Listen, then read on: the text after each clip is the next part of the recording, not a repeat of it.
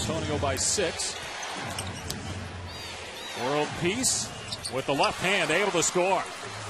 That's some serious strength right there. He worked hard for that. Dion great position. Look at this. You got to be kidding me.